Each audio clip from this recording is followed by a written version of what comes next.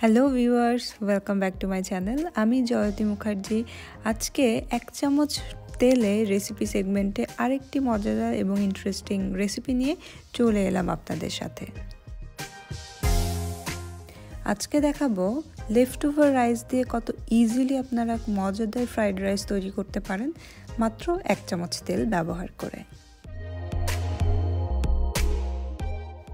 এটা সবার জন্যই বেশ পরিচিত একটি রেসিপি আমি জানি আপনারা অনেকেই অনেকভাবে হয়তো এটা তৈরি করে থাকেন, কিন্তু আমি মনে করলাম যে এই লেফট ওভার রাইসের যে ফ্রাইড রাইসটা হয়, এটাও কীভাবে আপনারা হেলদি উপায়ে তৈরি করতে পারেন সেটা একটু আপনাদের সাথে শেয়ার করি। সেই ভাবনা থেকেই আমার আজকের রেসিপি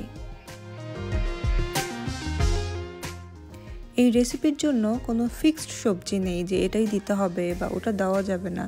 মোটামুটি যখন যেটা অ্যাভেলেবেল থাকে আমি তা দিয়েই করে ফেলি।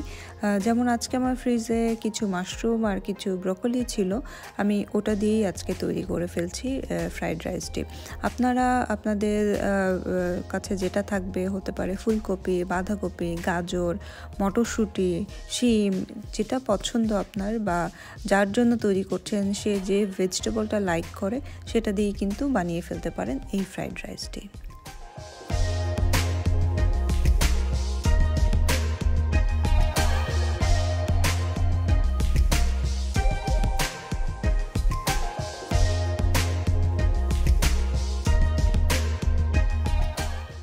মাশরুমটা প্রচুর পানি ছাড়ে, তাই মাশরুমটা ভাজার ক্ষেত্রে একটু সময় নিয়ে এটাকে ভেজে নিতে হবে।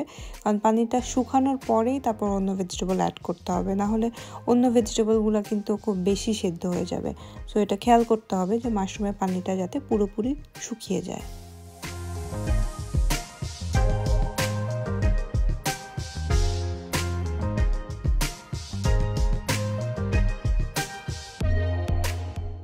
পানি শুকিয়ে গেছে, এখন ব্রোকলিটা দিয়ে দিচ্ছি। অনেকে আছেন সবজি পছন্দ করেন না বা আলাদা করে রান্না করা ঝামেলা মনে করেন, তারা কিন্তু এভাবে ট্রাই করে দেখতে পারেন। এভাবে আপনার পছন্দের সবজি রাইসের সাথে অ্যাড করে দিলে রাইসটাও ইন্টারেস্টিং হয়, খেতে মজা হয় এবং সাথে সাথে আপনার সবজিটাও কিন্তু ইনটেক করা হয়ে গেল।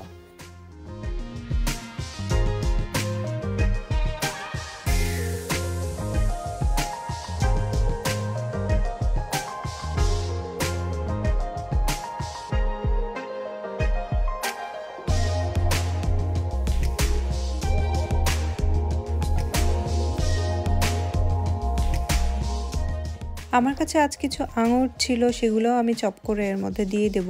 আপনারা আপেল, আঙুর, ডালিম আপনাদের পছন্দ মতো যে কোনো ফলই অ্যাড করে নিতে পারেন। খুব সহজ এই রেসিপিটি এটাকে আরও মজাদার, আরও ইন্টারেস্টিং করার জন্য অনেক কিছু অ্যাড করা যেতে পারে। পাইনাপল অ্যাড করা যেতে পারে চিকেন অ্যাড করা যেতে পারে।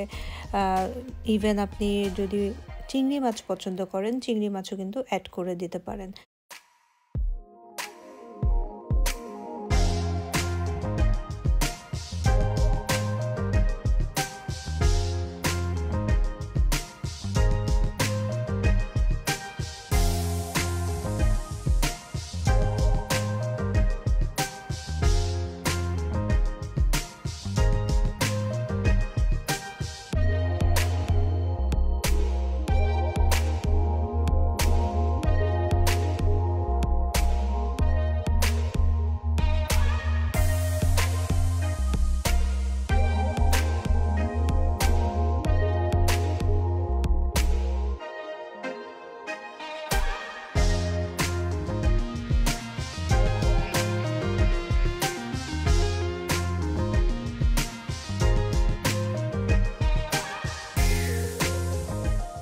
আমার কাছে কিছু মিক্সড ড্রাই ফ্রুট ছিল, ওগুলোও আমি অ্যাড করে দিচ্ছি। এটা অ্যাড করার ফলে রাইসটা কিন্তু আরও বেশি পুষ্টিকর হয়ে গেল। অনেক মারাই বলেন, বাচ্চারা সবজি খেতে চায় না, ফল খেতে চায় না, ডিম খেতে চায় না, কিন্তু এভাবে যদি ফ্রাইড রাইস তৈরি করেন এবং এর মধ্যে একটু ফ্রুটস একটু ভেজিটেবল অ্যাড করে দেন, আর সাথে যদি একটা ডিম পোচ করে দেন, বাচ্চারা কিন্তু পছন্দ করেই খেয়ে নেবে।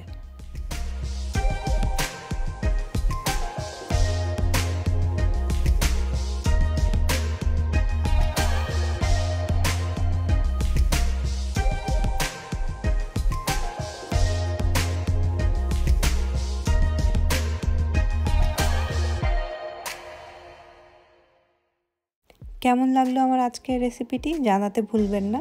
আর আপনাদের কোনো সাজেশন থাকলে অবশ্যই আমাকে কমেন্টে লিখে জানাবেন। রেসিপিটি ট্রাই করেও আমাকে জানাতে পারেন কেমন হলো। আর আজকের মতো এখানেই বিদায় নিয়ে নিচ্ছি। সবাইকে অনেক অনেক ধন্যবাদ এবং শুভেচ্ছা।